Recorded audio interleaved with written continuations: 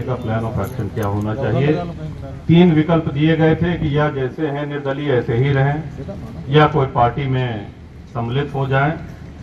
इससे अधिक लोगों के ये मत आए हैं कि स्वयं की पार्टी बनाएँ। और इसके साथ साथ कई ऐसे महत्वपूर्ण मुद्दे हैं जो जन सामान्य को प्रभावित करते हैं। हम और आप, हम सभी लोग उससे प्रभावित होते हैं।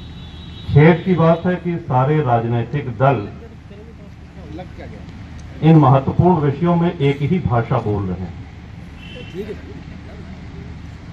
ऐसे में अपने विचार व्यक्त करने के लिए, अपने विचारों को जनता तक पहुँचाने के लिए और समाज में एक परिवर्तन, एक सकारात्मक परिवर्तन के लिए ये आवश्यक हो गया था कि दल का गठन किया जाए।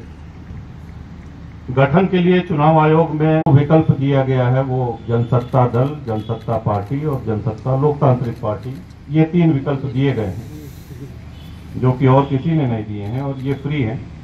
तो आशा है, संभावना है कि इन्हीं तीनों में से कोई एक नाम उस नए दल का होगा।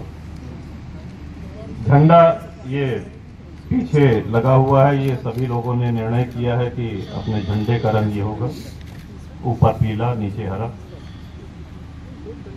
अब हम लोग आ जाते हैं मूल मुद्दे पे। कुछ ऐसी ज्वलंत समस्याएँ जो हम सबको प्रभावित करती हैं।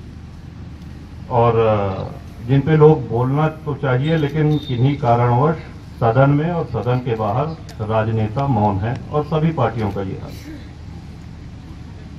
आप लोग अवगत होंगे कि राजीव गांधी जी